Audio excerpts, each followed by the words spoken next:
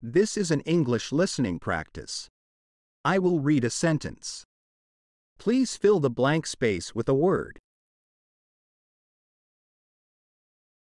At length, driven almost to despair, it became evident that something new must be done to still the tumult.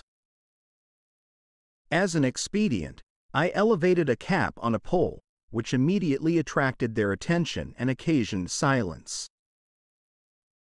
Thus I obtained a clue to guide me, and my mind instantly perceived one of the most fundamental principles in infant teaching, in fact of most teaching, and which long experience has proved true, and that is, to appeal to the senses of the children.